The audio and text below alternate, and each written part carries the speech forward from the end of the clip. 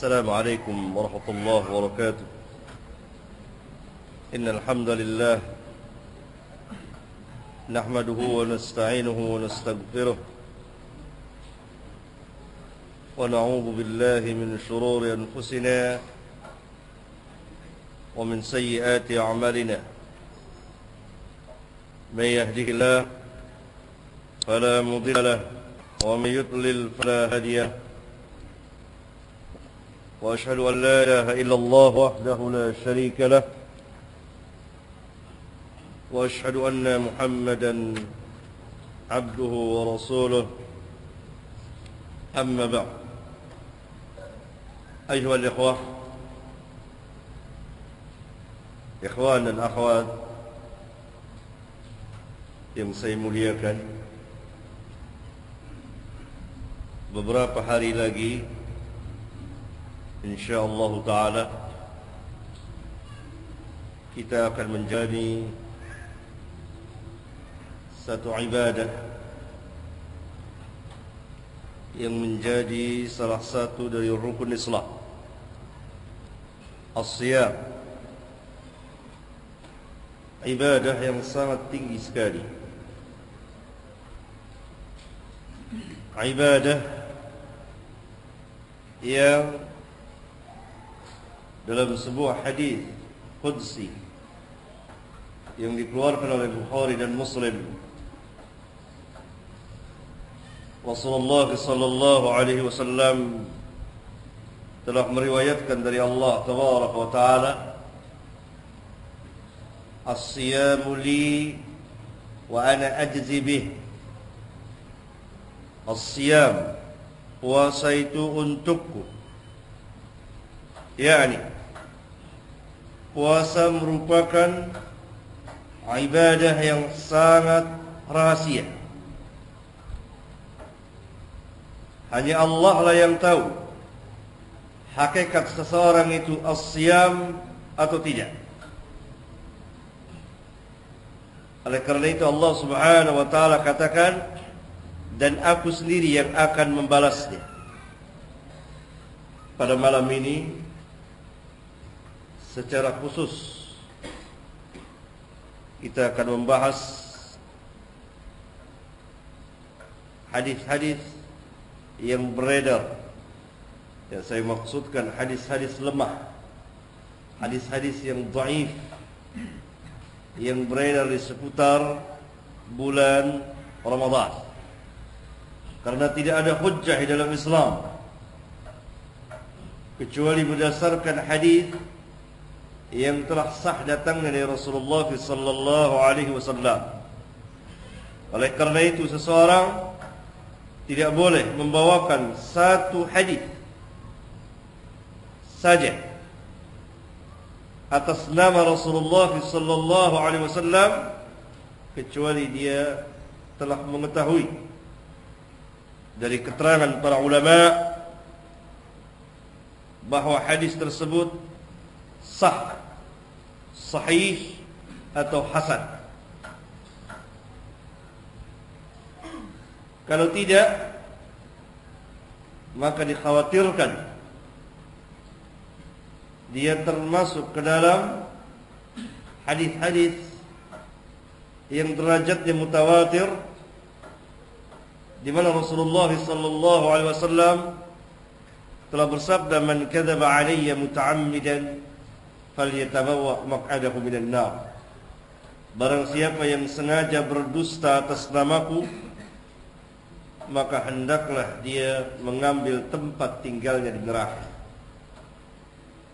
Berdasarkan hadis yang mulia hadis mutawatirin yang diriwayatkan oleh berpuluh orang sahabat dikeluarkan oleh Bukhari dan Muslim dan lain-lain banyak sekali maka para ulama khususnya para ahli hadis mengeluarkan hukum bahwa tidak boleh kita mengeluarkan membawakan meriwayatkan satu pun hadis kecuali yang telah diketahui atas dasar ilmiah ilmu sesuai dengan kaidah-kaidah hadithiyah kaidah-kaidah yang ada dalam ilmu hadis bahwa hadis tersebut telah sah datangnya dari Rasulullah sallallahu alaihi wasallam. Kalau tidak, maka dikhawatirkan kita termasuk ke dalam ancaman sabda Nabi yang mulia sallallahu alaihi wasallam. Man kadzaba alayya muta'ammidan falyatabawwa maq'adahu minan nar. Para sahabat radhiyallahu anhum sangat hati-hati di dalam membawakan atau meriwayatkan hadis dari Nabi yang mulia sallallahu alaihi wasallam padahal mereka hidup bersama Nabi sallallahu alaihi wasallam Mereka adalah orang-orang yang paling mengetahui tentang perkataan dan perbuatan dan takrir atau persetujuan Nabi sallallahu alaihi wasallam. Tetapi mereka begitu hati-hatinya takut masuk ke dalam sabda Nabi tadi. Mereka sangat takutnya kalau-kalau mereka termasuk orang yang berdusta atas nama Rasulullah sallallahu alaihi wasallam. Di antaranya hadis yang dikeluarkan oleh Imam Al-Bukhari an Anas bin Malik annahu dari Anas bin Malik ia berkata إنه ليمنعني أن أحدثكم حديثا كثيرا أن رسول الله صلى الله عليه وسلم قال من تعمد علي كذبا فليتبوأ مقعده من النار Sesungguhnya yang menghalangi saya untuk menceritakan hadis-hadis yang banyak kepada kamu ialah sesungguhnya Rasulullah sallallahu alaihi wasallam telah bersabda barang siapa yang sengaja berdusta atas namaku maka hendaklah dia mengambil tempat tinggalnya di neraka. Anas bin Malik tahukah saudara siapa Anas bin Malik pembantu Rasulullah sallallahu alaihi wasallam Sejak Rasulullah SAW datang ke Madinah, maka Anas mengikuti Rasulullah SAW selama kurang lebih 10 tahun. Yang melayani beliau. Oleh karena itu Anas termasuk salah seorang sahabat yang banyak meriwayatkan hadis dari Rasulullah SAW. Tetapi sangat takutnya dia. Sangat hati-hati dalam menyampaikan meriwayatkan dari Nabi sallallahu alaihi wasallam. Padahal sahabat mendengar langsung dari Nabi sallallahu alaihi wasallam. Innahu la yamna'uni an uhaddithakum hadithan katsira. Sesungguhnya yang menghalangiku untuk menceritakan hadis yang banyak kepada kamu.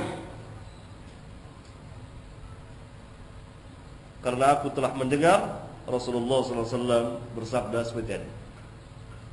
Man ta'ammada alayya kadiban falyatabawwa maq'adahu minan nar.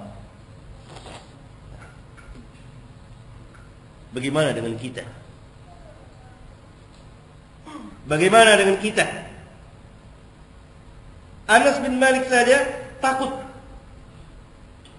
takut terancam masuk ke dalam man ta'ammada alayya kadiban falyatabawwa maq'adahu minan nar. Sahabat yang lain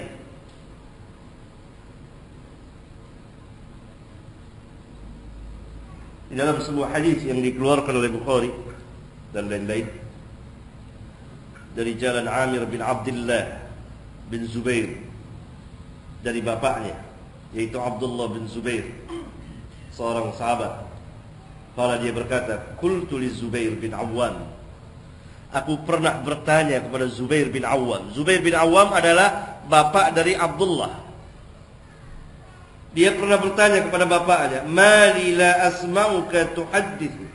Tuhaddithu ar Rasulullah sallallahu alaihi wasallam. Kama asma'u ibn Mas'udin wa fulanin wa fulanin. Mengapa Aku tidak pernah mendengar engkau menceritakan hadis dari Rasulullah sallallahu alaihi wasallam. Yang dimaksud tidak pernah menceritakan hadis sangat hati-hatinya. Bukan berarti tidak pernah sama sekali menceritakan hadis dari Rasulullah SAW. Tidak.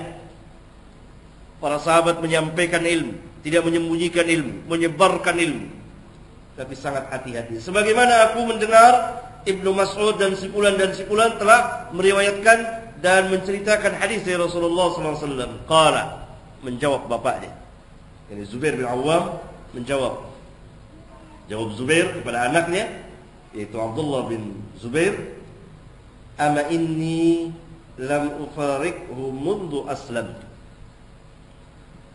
adapun saya tidak pernah berpisah dari Rasulullah SAW semenjak aku masuk Islam ama inni lam ufarikhu mundu aslamtu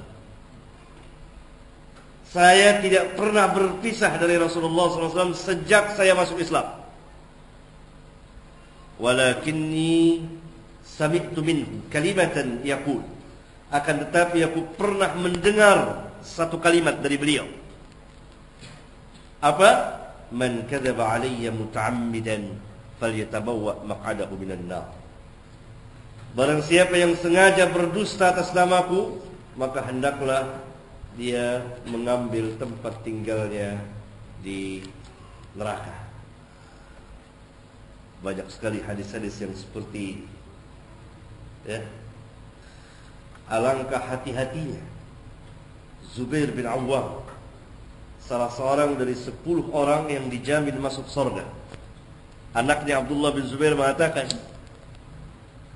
Mengapa aku tidak pernah mendengar kau membawakan atau meriwayatkan hadis Rasulullah SAW? Jadi tidak begitu banyak dan sangat hati-hatinya. Sebagaimana aku mendengar dari Ibnu Mas'ud dan Sipulan dan Sipulan. Ya, saya tidak pernah berpisah dari Rasulullah SAW sejak saya masuk Islam.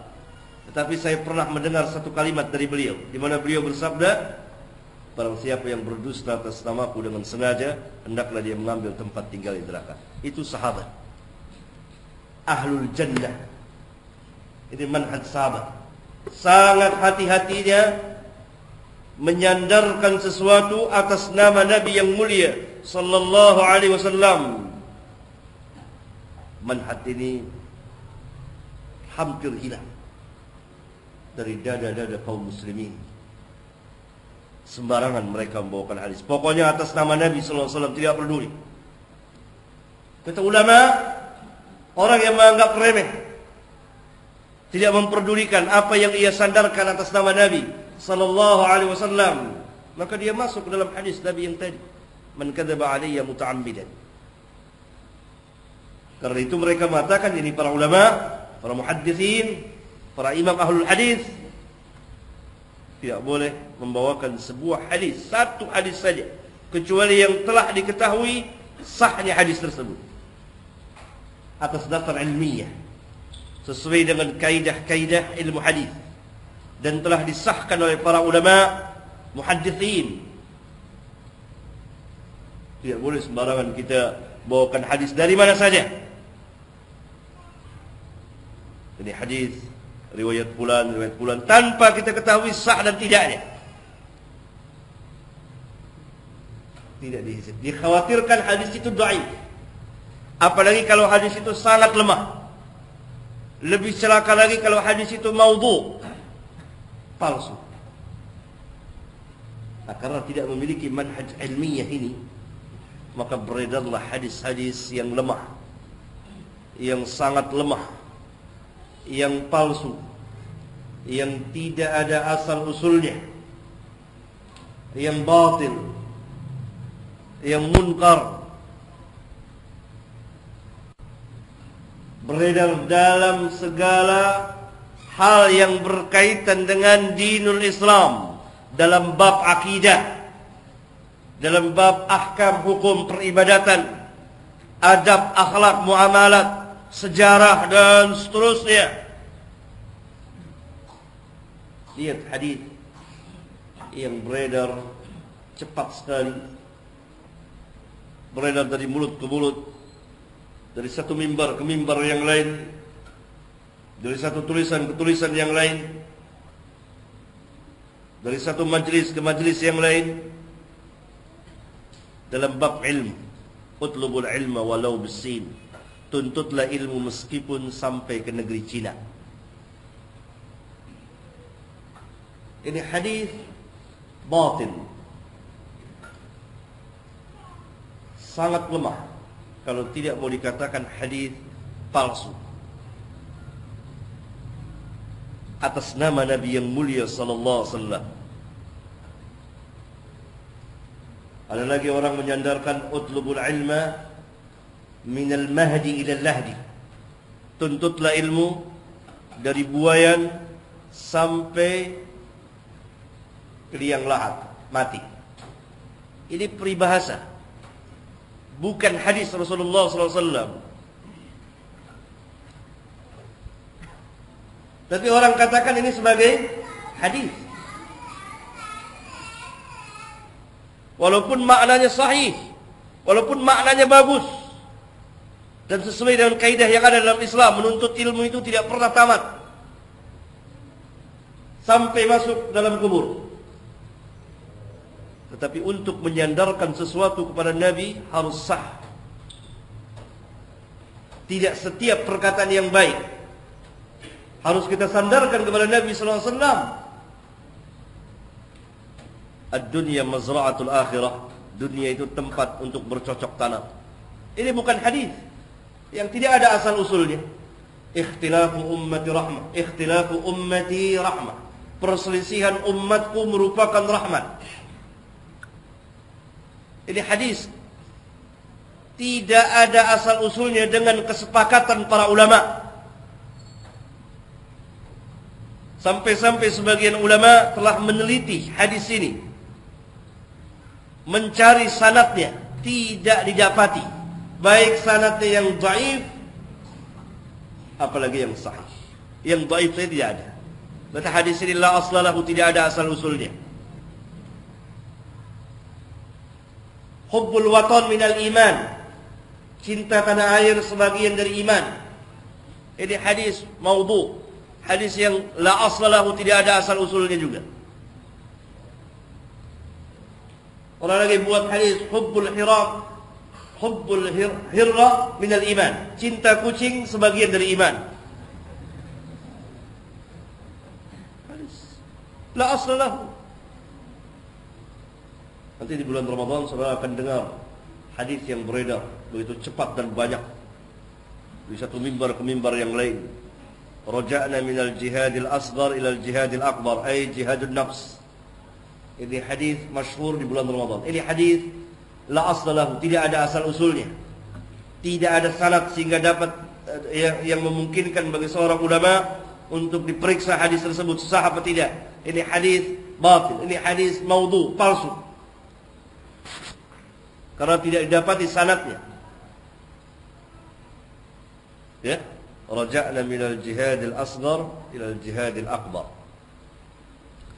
Dibawakan oleh Al-Imam Al-Ghazali rahimahullah taala di kitab Ihya'nya di dua tempat. Dan hadis ini kata ulama tidak didapati asalnya. sering dibawakan di bulan Ramadan.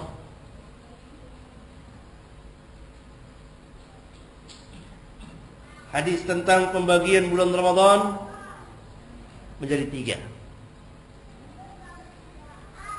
Awaluhu rahmah wa awsatuhu maghfirah wa akhiruhu itqul minan nar.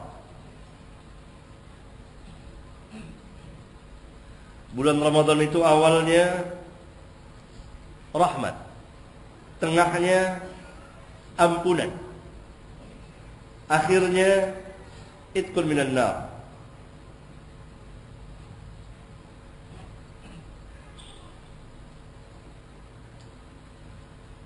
Hadis ini sangatlah lemah dikeluarkan di antaranya oleh Al-Imam Ibnu Abi Dunya dan Imam Ibnu Asakir dan Imam Ad-Dailami dan lain-lain dari jalan Abu Hurairah yang disandarkan orang atas nama Abi Hurairah radhiyallahu anhu. Para ulama mengatakan hadis ini dhaifun jiddan.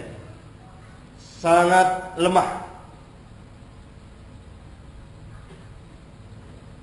Lagi hadis yang sangat panjang yang juga menjelaskan tentang pembagian bulan Ramadan.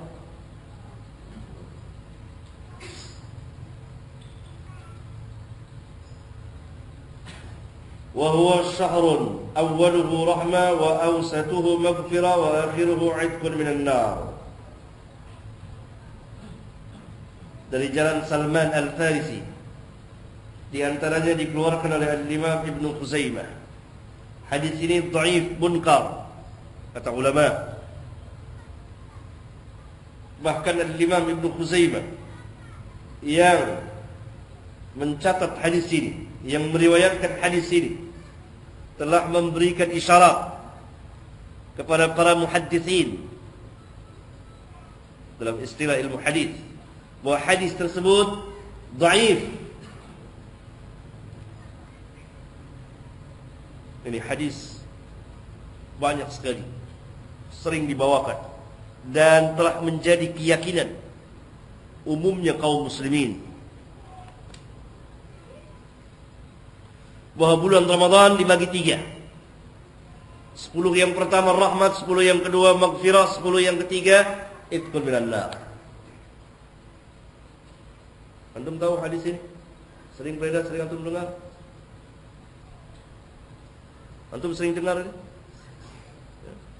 berarti seluruh Indonesia.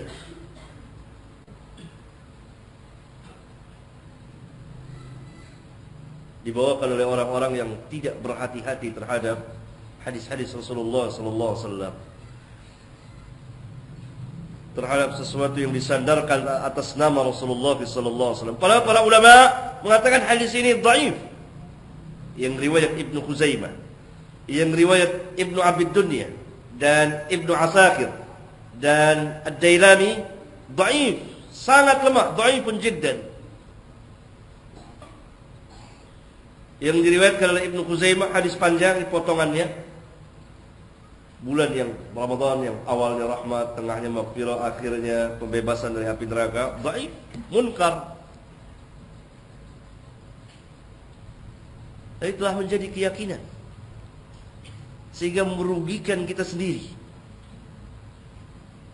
hadis ini selain dhaif sanadnya maka matanya isinya bertentangan dengan hadis-hadis yang sahih. Kalau kita melihat kepada hadis-hadis yang sahih maka ketiga macam itu rahmat maghfirah itqul minan nar ada di bulan Ramadan dari awal sampai akhir. Dalam sebuah hadis yang dikeluarkan oleh Imam An-Nasa'i hadis sahih Rasulullah sallallahu alaihi wasallam menamakan bulan Ramadan syahrul mubarak. Bulan yang diberkati. Syahrul mubarak. Bulan yang diberkati. Barakah bahasa Arab. Apa arti barakah Kafratul khair wa thubutuhu. Kebaikan yang banyak dan tetap terus menerus berlangsung. Berarti di bulan Ramadan, sepanjang bulan Ramadan, dari awal sampai akhir penuh dengan kebaikan dan terus menerus mubarak. Yang tentu di dalamnya di antara mubarak rahmat, maghfirah, itqun minan nar. Dalam hadis yang lain yang dikeluarkan oleh Bukhari dan Muslim Rasulullah SAW katakan apa? Man sama Ramadhan imanan wa ihtisaban ghufira lahu ma taqaddama min dhanbi. Barang siapa yang saum dengan iman, ikhlas, wahtisaban dan mengharapkan pahala dari Allah. Salah kalau kita bahasa ihtisaban dengan perhitungan.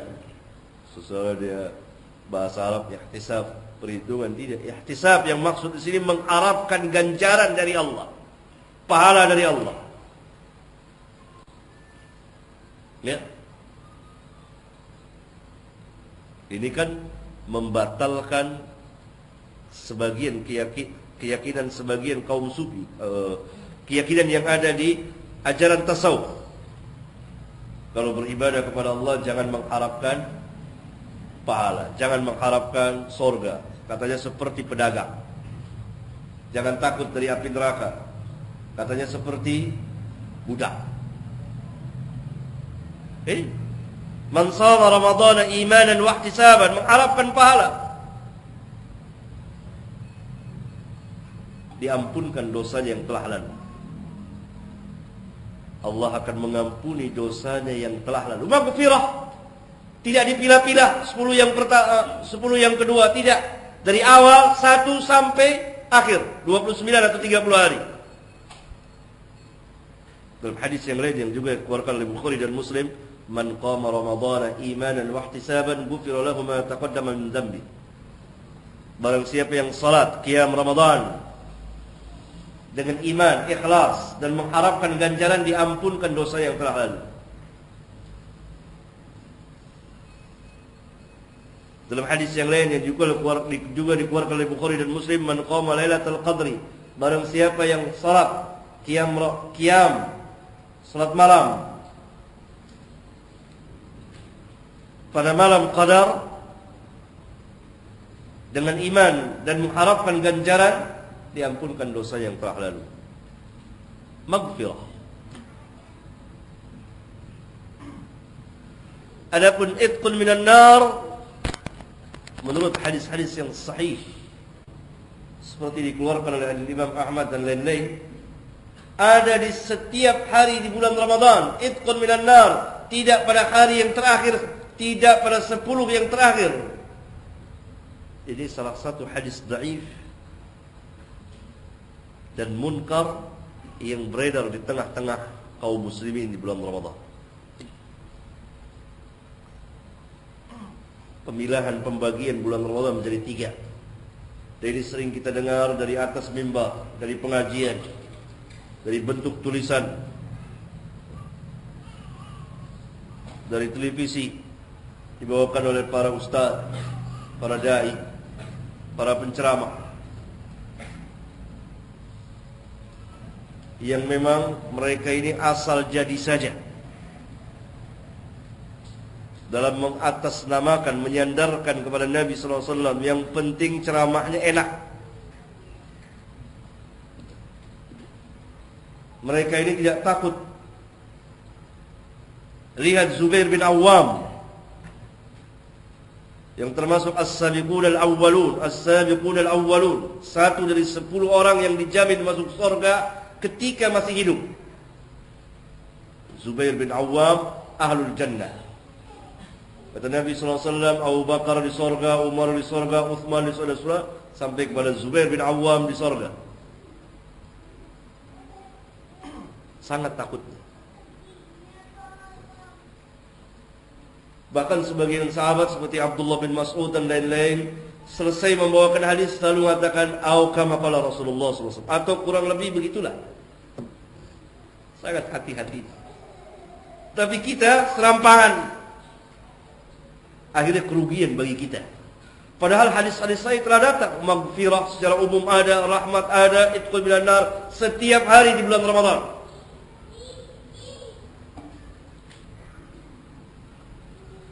Ada lagi dibawakan misalnya hadis-hadis yang menjelaskan bahwa tidurnya orang puasa itu ibadah. Sering mendengar itu?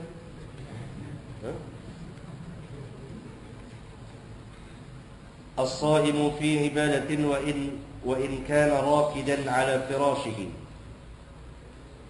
Orang yang saim itu dianggap tetap berada di dalam ibadah meskipun dia tidur di atas kasurnya. lagi dengan lafaz yang sama as-saimu fi ibadatin wa in kana naiman ala firashihi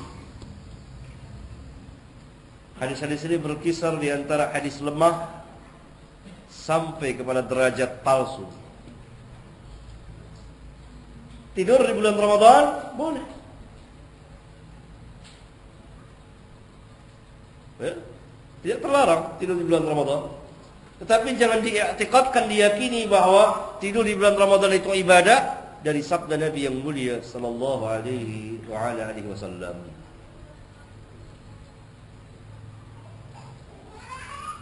Tidak setiap kalimat yang hak itu kemudian disandarkan kepada Nabi sallallahu alaihi wasallam seperti beredar hadis-hadis palsu berkisar di antara dhaif sampai ke derajat palsu disandarkan kepada Nabi sallallahu alaihi wasallam Al-iman yazid wa yankus. Iman itu bertambah dan berkurang. Ini kalimat yang hak, maknanya sahih dan ini menjadi keyakinan i'tiqad ahlus sunnah wal jamaah. Terambil dari mana? Dari nas Al-Quran dan hadis-hadis Rasulullah. Tapi tidak ada, tidak pernah Nabi SAW secara langsung mengatakan Al-iman yazid wa yankus. Lalu musuhnya ahlu sunnah buat lagi hadis palsu. Al-iman la yazidu wa la yankus. Iman tidak bertambah dan tidak berkurang. Kedua-duanya palsu.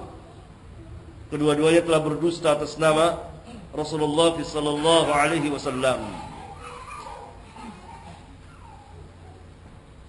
Tidak boleh berdusta atas nama Rasulullah sallallahu alaihi wasallam walaupun untuk tujuan dan maksud yang baik. Kalau tidak terancam tadi.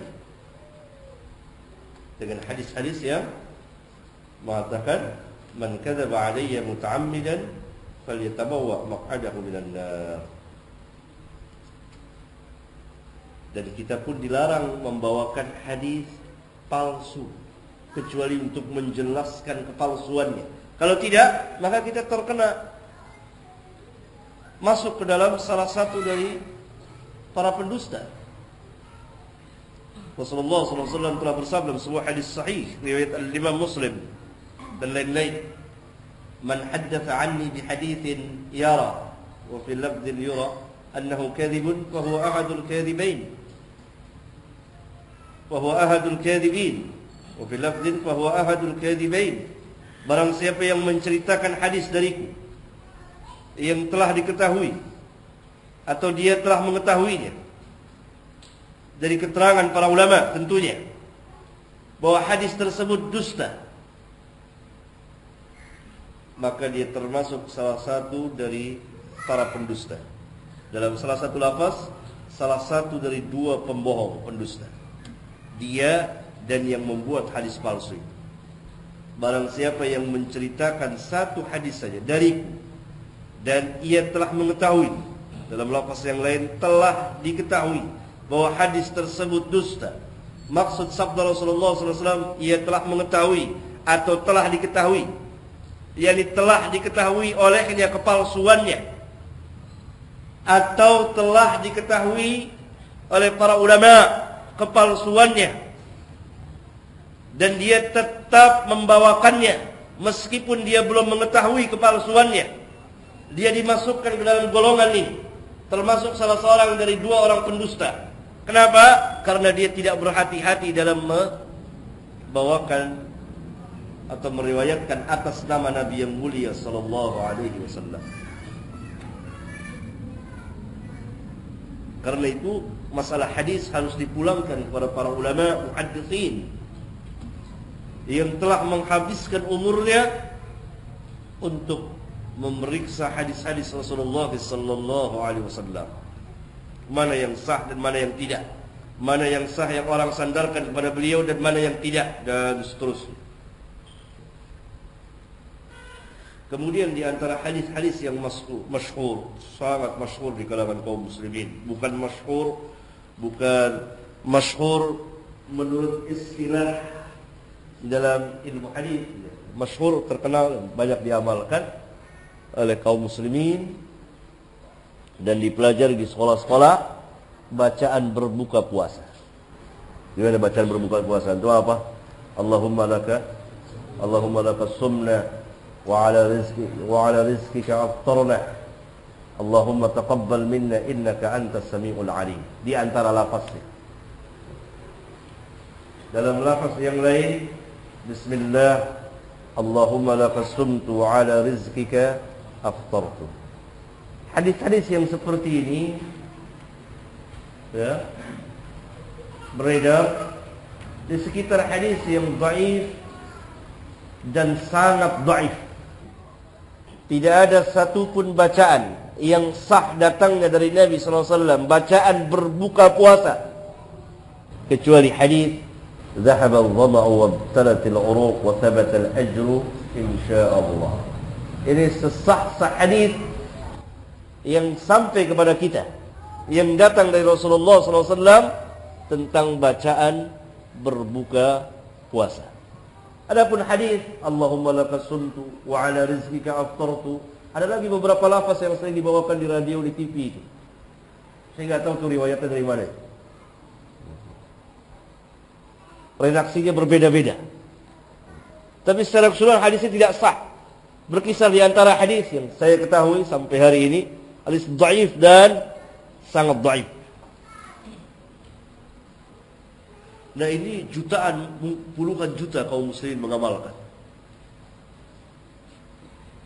Apa penyebabnya? Karena kita tidak hati-hati terhadap hadis Rasulullah SAW. Asal bawakan saja. Para ulama telah membuat kaidah tidak boleh membawakan hadis dari Rasulullah SAW kecuali yang telah sah datangnya dari beliau. Yang tidak sah tidak boleh. Jadi kita bawakan saja ini hadis dari Rasulullah SAW. Ada hadis. Kita tidak tahu itu sah dan tidak tidak boleh. Kecuali untuk bertanya kepada ahli ilmu. Tanyakan dulu. Sah apa tidak? Sudah sah kata para ulama yang ahlinya, bawakan. Boleh. Kalau belum tahu, jangan dibawakan. Lihat akibatnya.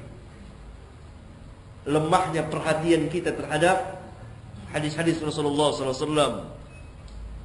Berpuluh tahun lamanya kita mengamalkan ini. Saya pun termasuk orang yang mengamalkannya. Masih kecil dari kecil kita diajarkan bacaan seperti ini. Di sekolah-sekolah Islam, di madrasah, ibtidaiyah, di tanawiyah, di aliyah, Allahumma lakas sumna وعلى رزقك أفطرنا. وتقبل منا إنك أنت السميع العليم. اللهم لك صمت وعلى رزقك أفطرت. sehingga yang masyhur hilang. Sesahih sahih hadis itu hadis dari Jalal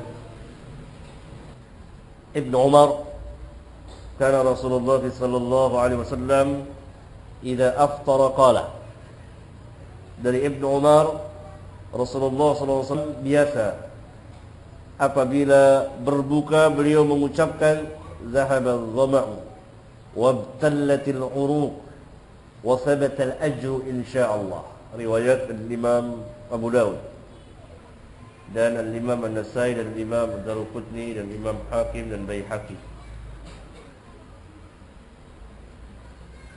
dan Imam Ad-Daruqutni yang meriwayatkan hadis ini mengatakan bahwa hadis ini derajatnya hasan. Kemudian disetujui oleh para ulama di antaranya oleh seorang ahli hadis besar pada abad ini Amirul Mukminin fil hadis pada abad ini Muhammad Nasiruddin Al-Bani rahimahullah taala menyetujui perkataan Imam Ad-Darqutni hadis ini hasan. Para muhaddisin para imam selalu mengatakan sah sah diamalkan yang lain Allahumma lakasumtu ala rizki aftar aftartu. Dikatakan oleh ulama para imam ahlul hadis, dhaif, sangat dhaif, jangan diamalkan. Kemudian ada lagi hadis yang beredar. Sumu tasihhu Puasalah pasti kamu akan sehat. Ini hadis dhaif ya, terus dhaif. Tidak boleh disandarkan atas nama Nabi yang mulia sallallahu alaihi wasallam. Walaupun tidak syak, tidak ragu lagi. Bahwa siam puasa dapat menyegarkan tubuh, dapat menyehatkan tubuh, tidak syak lagi. Tapi jangan sandarkan perkataan puasalah pasti kamu akan sehat itu kepada Nabi yang mulia sallallahu alaihi wasallam.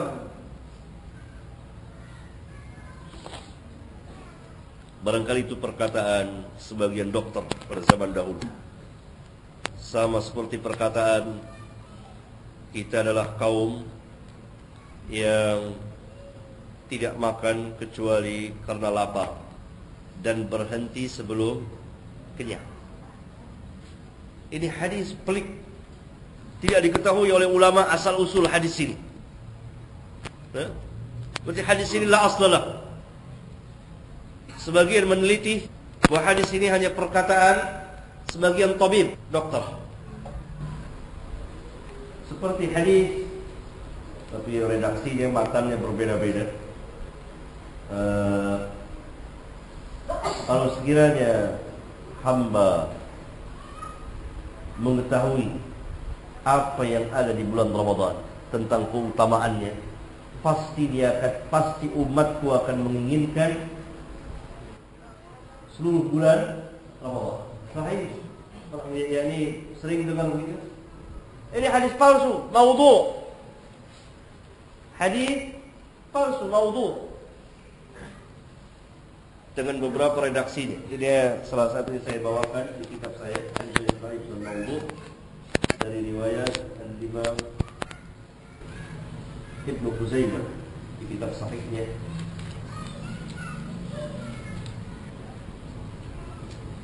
Barangkali ini bapak-bapak dan ibu-ibu serta saudara sekalian. Sebanyak lagi hadis-hadis yang taif yang beredar di bulan Ramadan di bulan Ramadan tapi apa yang saya bawakan saya kira itu cukup masyhur.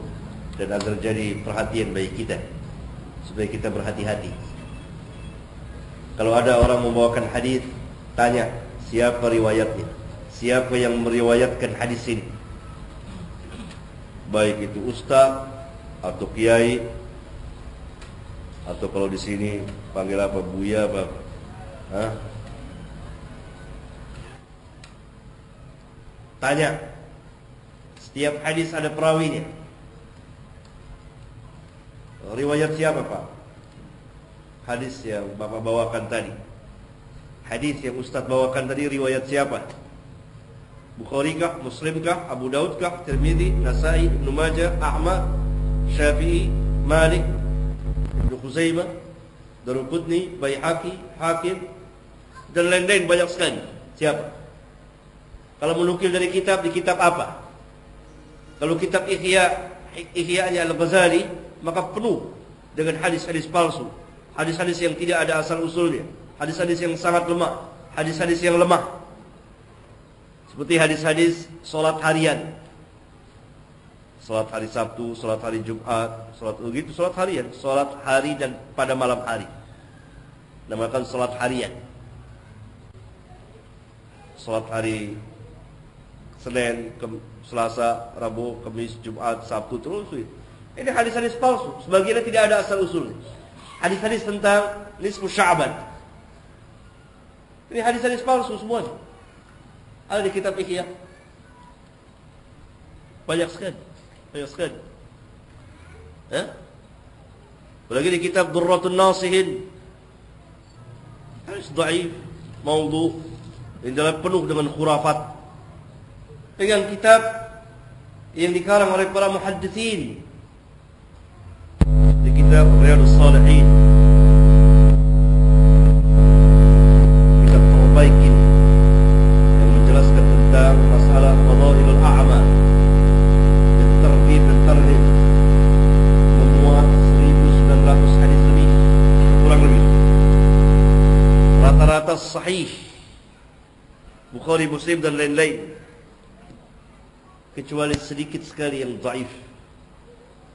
dinisbahkan dengan jumlah hadis yang ada di kitab ini. Hanya beberapa puluh saja. Itu pun dhaifnya ringan. Kenapa demikian? Manusia. Yang karang al-imam an-nawawi muhaddis imam ahlul hadis. Ya barangkali kita akan bersoal jawab insyaallah taala.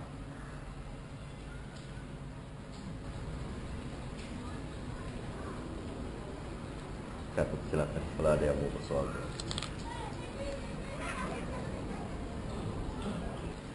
Barang siapa yang merasa senang dengan datangnya bulan Ramadan atau akan dibebaskan jasadnya dari api neraka. Apa seterusnya?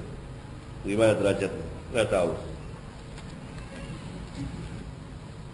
Bagaimana dengan perkataan sebagian ulama bahwa alam ini diciptakan karena nur Muhammad atau Nabi Adam diciptakan karena nur Muhammad? Ini dusta atas nama agama Allah, dusta atas nama Allah, dusta atas nama Rasulnya datang sebagian hadis yang semakna dengan ini dari hadis-hadis yang palsu. Sebagiannya hadis-hadis yang tidak ada asal usulnya. Bagaimana menentukan salah satu dari akhir Sya'ban untuk mengadakan kenduri menyambut Ramadan. Menyambut Ramadan bukan dengan membaca-baca marhaban ya Ramadan atau menulis marhaban ya Ramadan atau keramas atau uh, kenduri seperti itu selamatan atau ziarah kubur. Nanti Idul Fitri ziarah lagi kubur. Ini semua bukan dari ajaran Islam Tapi dari sebagian orang-orang Islam kaum muslimin yang memasukkannya ke dalam Islam Atau dari ajaran orang di luar Islam masuk ke dalam Islam Lalu dengan apa? Bagaimana caranya kita menyambut Ramadan? Dengan ilmu dan amal dan persiapan Dengan ilmu apa? belajar tentang sifat saum, sifat puasanya Nabi yang mulia sallallahu alaihi wasallam. Apa hakikat as-siyam? Ruh dari as-siyam itu apa? Dan seterusnya. Itu persiapan. Sama seperti seseorang akan menunaikan ibadah haji. Yang wajib bagi dia mempelajari bagaimana sifat haji Nabi sallallahu alaihi wasallam. Karena Nabi yang mulia sallallahu alaihi wasallam telah bersabda dalam sebuah hadis sahih riwayat Imam Muslim dan lain-lain, "Khudhu manasikakum." Ambillah dariku manasik haji kamu.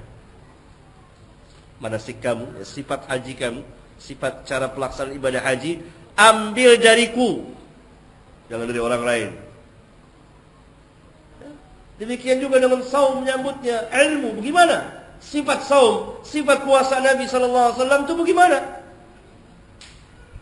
Dan apa sebenarnya hakikat puasa itu? Mana yang membatalkan saum, mana yang tidak, mana yang boleh?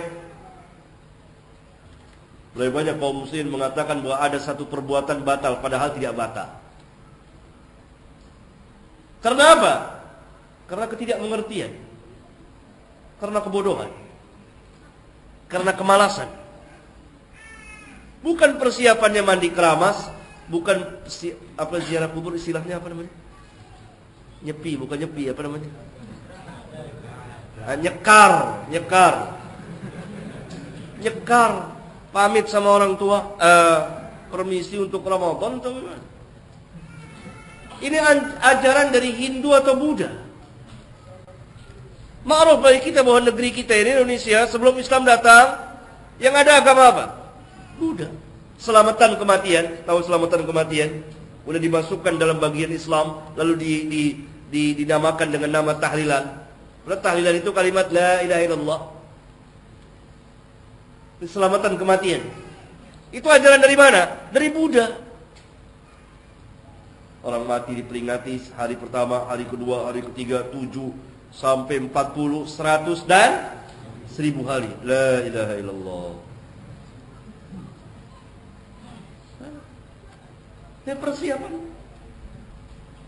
Persiapan benar-benar dengan ilmu. Nanti kita terapkan dengan amal. Karena beramal harus dengan ilmu. Tidak boleh beramal dulu baru ilmu. Ilmu beramal, ilmu beramal. Al ilmu qabla al qaul wal amal. Ilmu sebelum beramal, sebelum al ilmu qabla al qaul sebelum ngomong, sebelum berbicara dan sebelum berbuat. Ilmu terlebih dahulu. Allah Subhanahu wa taala memulai dengan ilmu. Fa'lam annahu la ilaha illallah. Fa'lam annahu la ilaha illallah. Ketahuilah la ilaha illallah. Hanya orang yang berilmu lah yang mengetahui la ilaha illallah. La ilaha illallah la ma'budu bihaqqin illallah. Tidak ada satupun yang diibadati dengan benar melainkan Allah. Ini persiapannya. Bukan kenduri. Selamatan. Tidak pernah dilakukan oleh Rasulullah wasallam belajar bagaimana hakikat siam. Dari mana? Dari ayat dan hadis. Lihat, minta bantuan dari para ulama. Dari hadis-hadis yang sahih. Lihat kalau kita tidak belajar nanti. Kita akan meyakini hal-hal yang datang dari hadis-hadis yang baik, yang palsu.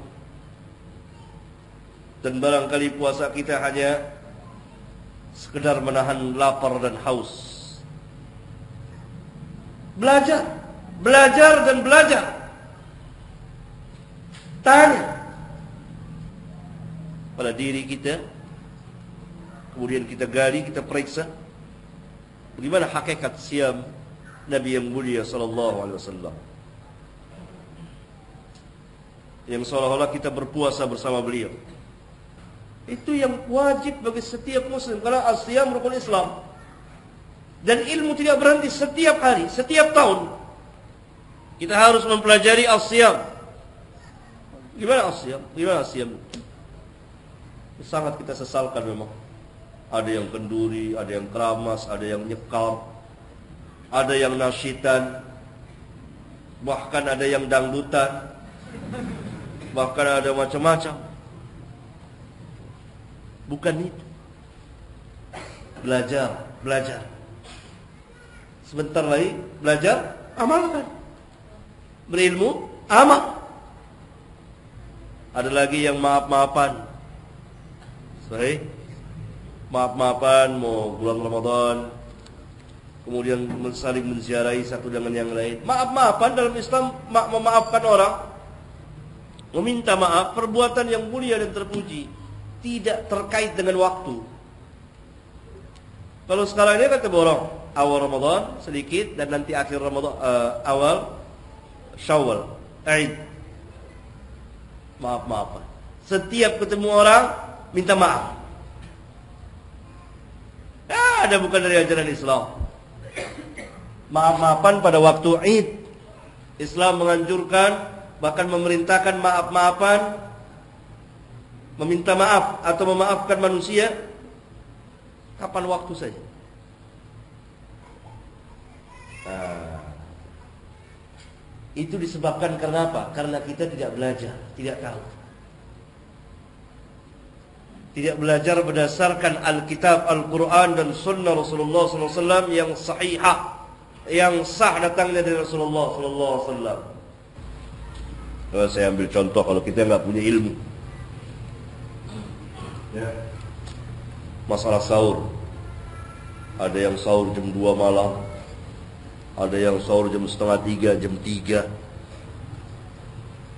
ini menyimpang dari sunnah Rasulullah SAW mengakhirkan sahur. Sunnah Nabi yang mulia SAW menyegerakan buka. Kapan kita mulai saum? Kalau kita tidak memiliki ilmu maka kita mulai saum ketika telah datang imsak katanya. Imsak sudah masuk kurang lebih 10 menit ya sebelum ada. Ini bid'ah munkarah mengharamkan apa yang Allah halalkan. Mulai saum puasa dari terbit fajar sampai terbenam matahari. Terbit fajar masuknya waktu subuh. Sebelum subuh makan dan minumlah kamu. Nggak ada istilah nahan-nahan. Hati-hati nggak ada. Nah, Padahal waktu 10 menit sangat berharga bagi kita yang soal. Cukup untuk kita makan dan minum ala kadar. Ya, waktu 10 menit. Lihat kalau kita tidak punya ilmu. Kalau kita tidak belajar. Imsak, begitu datang imsak, lagi makan ditinggalin. Bahkan orang anaknya lagi makan disuruh buang. Karena apa? Tidak punya ilmu. Dari imsak, apa yang mereka katakan imsak ke ke waktu fajar, adzan subuh, kurang lebih 10 menit. Sangat panjang bagi orang yang shaim. Untuk minum saja bisa berapa gelas?